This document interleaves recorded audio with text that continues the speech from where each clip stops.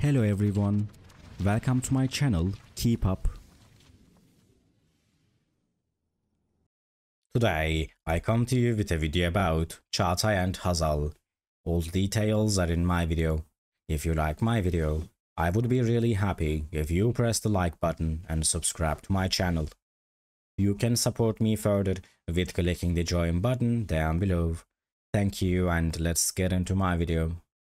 In a candid interview that has sent shockwaves through the entertainment industry, Çağatay Ulusoy opened up about the end of his relationship with his longtime girlfriend, Duygu.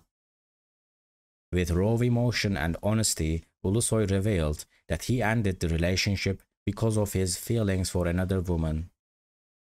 I ended my relationship with Duygu because of my love for her, Ulusoy confessed, referring to the mysterious woman who has captured his heart.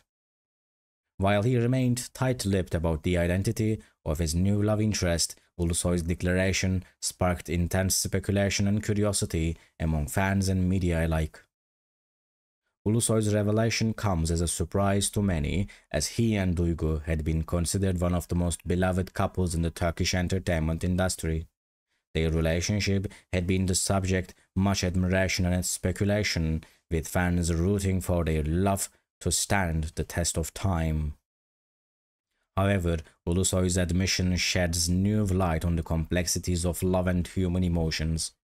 Despite the pain of ending a long-term relationship, Ulusoy remains steadfast in his conviction that his feelings for this new woman are genuine and profound.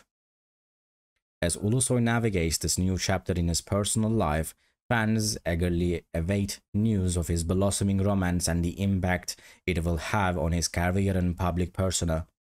Whether his new love will withstand the scrutiny of the public eye remains to be seen, but one thing is certain, Çağatay Ulusoy's declaration of love has left an indelible mark on the hearts of fans around the world.